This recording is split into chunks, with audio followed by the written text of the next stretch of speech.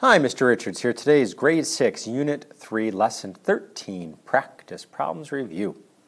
In question 1, how can you find 50% of a number quickly in your head? Well, you could multiply by 1 half or divide the number by 2. B, Andre lives 1 and 6 tenths kilometers from school. What is 50% of 1 and 6 tenths? Well, in your head, you could do 1 and 6 tenths and divide it by 2. And if you think of 16 divided by 2, that's 8. So 1 and 6 tenths divided by 2 is 8 tenths. Question C. Diego lives half a mile from his school. What's 50% of half a mile? Well, what's half of a half, right? You could just take 1 half times 1 half to get 1 fourth mile. Continuing on to question two. There is a 10% off sale on laptop computers. If someone saves $35 on a laptop, what was its original cost? If you get stuck, consider using the table. Well, there's a 10% sale. Someone saved $35. So $35 is that 10%. That's what our table is showing here. So how can I get from 10 to 100? We, well, multiply by 10. So we can take 35 and multiply by 10 to get $350 for that laptop. Question 3. Explain how to calculate these mentally. 15 is what percentage of 30? Well, I'd like to think that as well. This is 15 over 30, and that's going to be 1 half, which is going to be 50 percent. 15 is half of 30. 3 is what percentage of 12? Well, 3 over 12 simplifies to 1 fourth, which is 25%. And 6 is what percentage of 10? 6 over 10, instead of simplifying, I could go to 100 here. Multiply by 10. 10 times 10 is 100. 6 times 10 is 60. So 60 over 100 is 60%. Question four. Noah says that to find 20% of a number, he divides the number by 5. For example, 20% of 60 is 12 because 60 divided by 5 equals 12. Does Noah's method always work? Explain why or why not. If we look at a tape diagram here, it could really help us to understand what's going on when we break a number into 20%.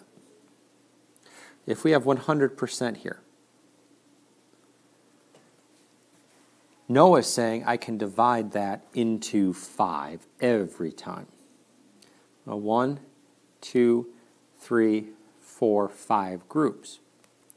Well, sure, if each of these little groups is 20%, these five 20% do add up to 100%. So, yes, I definitely agree with him. And what he did here was to say, well, if my 100% is 60, I can take 60 and divide it into 5 and get these 12.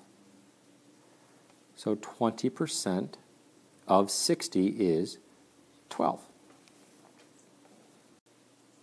Diego has 75% of $10. Noah has 25% of $30. Diego thinks he has more money than Noah, but Noah thinks they have an equal amount of money. Who's right? Explain your reasoning. And again, on these types of questions, pictures can always help.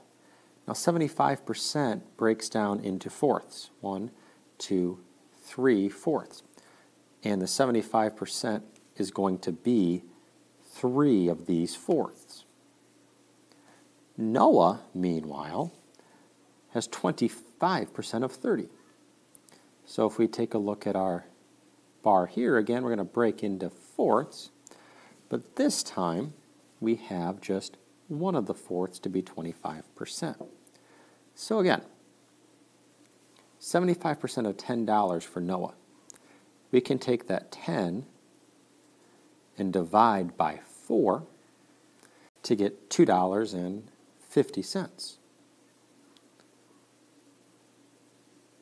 So each of these blocks is $2.50.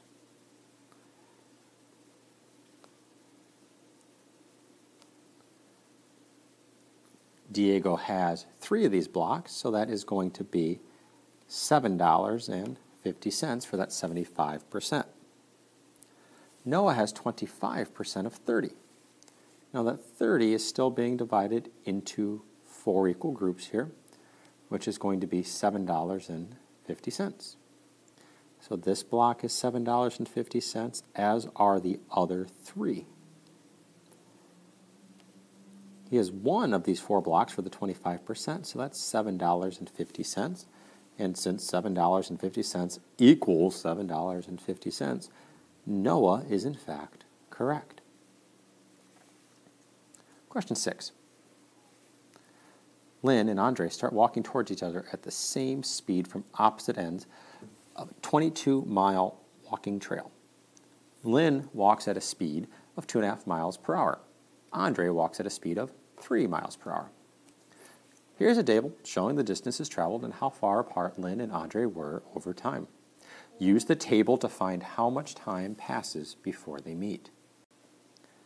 Let's take a look at hour number two now, since we already have hour zero and one completed. In hour two, Lynn's gone another two and a half miles to take this to five miles. Andre's gone another three miles to take this to six miles. They have a total distance of 11. And so if I take the distance apart, 22, and subtract the 11, I end up with, well, 11. After another hour, we're at three hours, we had a two and a half to this five to get seven and a half. We had three to the six to get nine. And add those two numbers together and get 16 and a half miles together. Take 22 minus the 16 and a half, and end up with, well, five and a half. And our fourth hour here happens to be our last row of the table. Add another two and a half, and we get 10 miles. Add another three, and we get 12 miles. Add those up, and we get 22 miles walked together. And, and of course, 22 minus 22 does equal that zero. That is it for this grade 6 unit 3 lesson 13 practice problems review. Good luck.